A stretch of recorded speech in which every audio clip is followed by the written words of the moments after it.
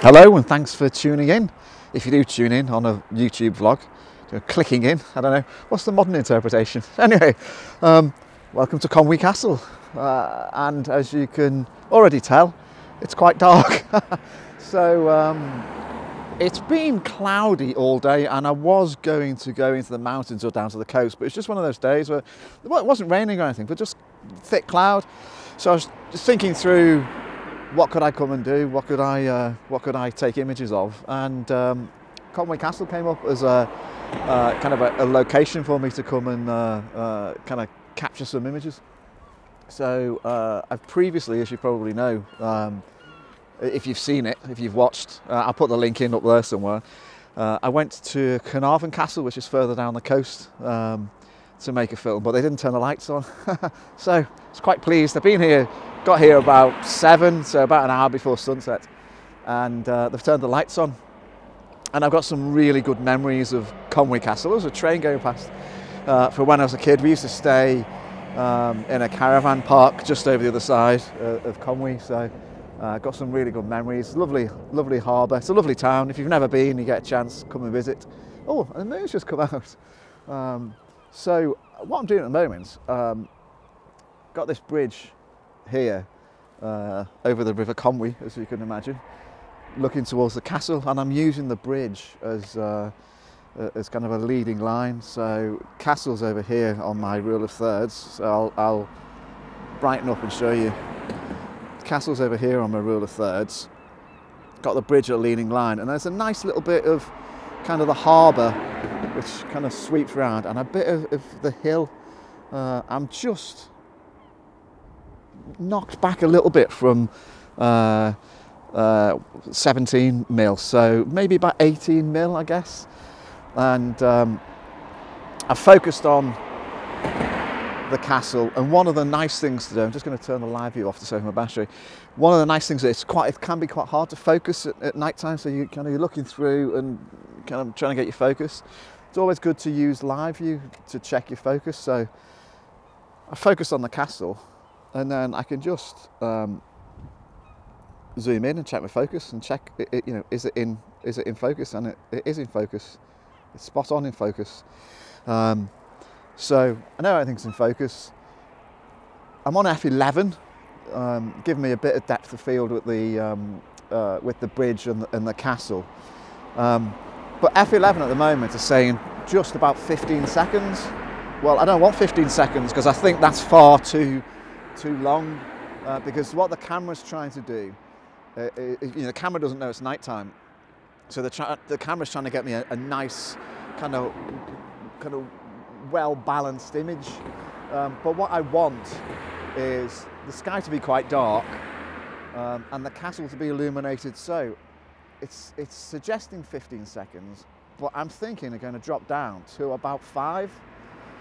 Um, and I actually want some cars coming this way and some cars coming that way because I can just about see the cars. So I'll get some like light trails. So I'm just waiting. Uh, I've already taken a couple of images, but I'm just waiting for cars to go in both directions, take some images and then go and kind of try a, a couple of different places. And um, I haven't got my shutter release in, so I'm using um, the two second timer. So uh, when I when I do take a shot, I'll press the shutter really, shutter two seconds, uh, and then the image will take. So it's all about timing. So I'm just looking to see if this car's coming. But quite enjoying it. Gulls always reminding me of Conway. I hope you can see me. Uh, feels a bit ridiculous trying to make a vlog in the dark, but uh, uh so I took. I was I was about 100 yards further down um, on the bridge, uh, and I've come along the road a little bit, get closer to the castle. And what I'm trying to do uh, is get a shot that includes the road and the, the walkway um, with cars going past heading in that direction. And I'll, this is a good example. Um, I'm trying to get the driving lights um, heading in front of the castle um, I have tried a couple with cars coming towards me as well. The challenge now, uh, nowadays, is loads of people have got those kind of xenon headlights and they're too bright. The, the white light is too bright coming towards me. Um, so I think what I need to do is get a car before it comes round. I'm going to take another one now, just as that one goes past. get a car just as it before it comes round, so I don't get the full uh, effect of the headlight as the shutter open. So if I took it now, the shutter would open while the headlight is, is right on, if that makes sense. I'll try, I'll try and show I, I, I mistimed that. So hopefully what I can get, if, if the shutter opens as the headlight is facing right into the camera, you tend to get a, a, a big blast of light uh, and rather than kind of the streaks of light that I'm looking for. So I'm trying to time it so I, it's quite hard to see from here because I'm trying to see cars just before they come around the corner. But I'm going to persevere. I think the, the ones with the brake lights going in that direction, oh, sorry, the driving lights going in that direction are working quite well. Um, but uh, it's, it's, getting the timing right. Um, and a bus just went past. And the bus was great because it's got loads of lights on the back, so you get lots of streak um, with a long shutter speed. What shutter speed does this give me? About two and a half seconds. I might go up to about three seconds. Um, so long streak, but oh, I missed it again. so too busy talking to you. Um, but try and go, try out, try out, try out. Let's see how that goes.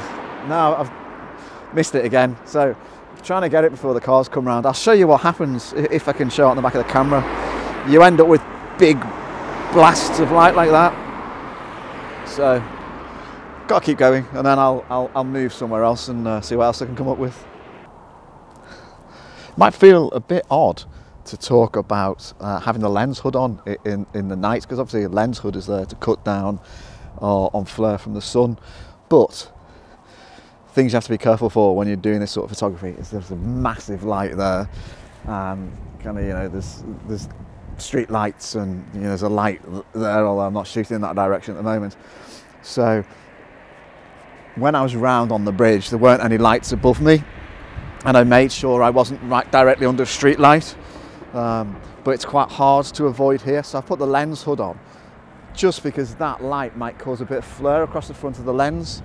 Um, and there's a roundabout here in front of the uh, in front of the castle. So what I'm trying to do is I'm hoping a car will come down the road over there round the roundabout this way in front of me so I'll get the lights coming and round the roundabout but I've just got to wait for, for it to happen. Um, and it's quite a kind of wide angle. So, oh, here comes one. See how that goes. Um, well, I'm hoping that that works. Let's see. Are they coming this way? Oh, they are coming this way. So they're coming around the roundabout the right way. One's gone the opposite way. So let's see how that worked. Oh yeah, not bad actually. See the lights coming right round. Um, yeah, I might persevere with that. There's a there's a, there's a there's a street um, sign over there. It's got a light on, which is a little bit distracting. And there's another car coming up, but oh, there's another one coming. Oh, no, he's going the other way. I don't want them to go that way. I want them to come this way to, to oh, sorry about that. Uh, I want them to come this way towards me. So maybe this one will do it. But uh, no. Next one. So anyway, I'm going to keep going at that. And I'm, I'm on F11, focused on the, the castle. It's given me, what's it giving me? Second exposure. Um, so just waiting that for the car to come. so I think that's probably about it. Um, although having said that, what I'm hoping for is a bus to come um, because they might not seem the most photogenic, but if you're photographing car light trails at, of, of, an evening, nighttime, buses are brilliant because they're so well lit up. Uh, and if you get the timing right, you get a lovely trail of lights high and low and, and all that type of stuff. So, um, but I tried, I tried over there, and as I suspect that that light was a real problem.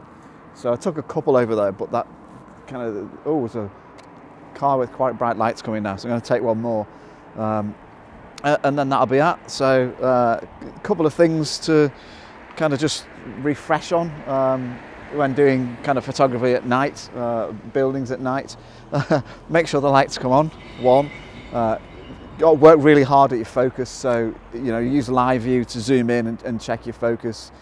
Don't be afraid to play around with different apertures and, and different shutter lengths and get trails and, and things like that. And um, I guess the final thing is be careful about things that are poking into the screen. So when I process this, I'll probably find that I've got a couple of images with um, you know, kind of the roundabout sign being a distraction, which I might have to clone out or whatever. So just just be careful about those sort of things. So um, hope you enjoyed that. I, I love Conway. Uh, in fact, when I was driving, it's only about it takes me about an hour to get here from home. Um, when I was driving here, thinking I quite like to live in Conway. so um, hope you enjoyed the trip, and uh, I'll see you next time.